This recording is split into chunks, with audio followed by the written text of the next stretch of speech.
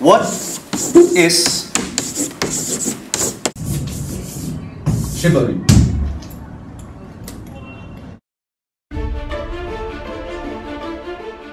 Only the bravest and purest of heart can unsheath the powerful sword that lies within the stone.